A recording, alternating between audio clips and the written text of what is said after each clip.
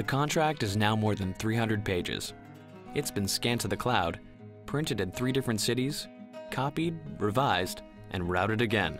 Kyocera Document Solutions helps you capture, distribute, and manage the many documents that matter.